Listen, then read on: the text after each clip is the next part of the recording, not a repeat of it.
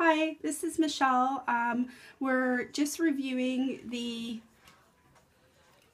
um, root cover up and as you can see I have crazy gray hair so we're about to do it now and I received this compliments from Influenster and L'Oreal Paris for a free honest review.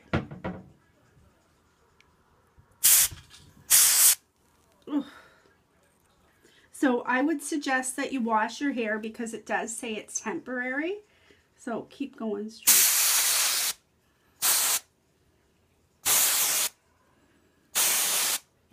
And it's freezing. My eyes are closed.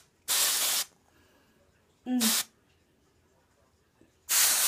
Hey, Serena, that's lots, isn't it? Is it covered or? No. Okay. Back there you got two? Yep.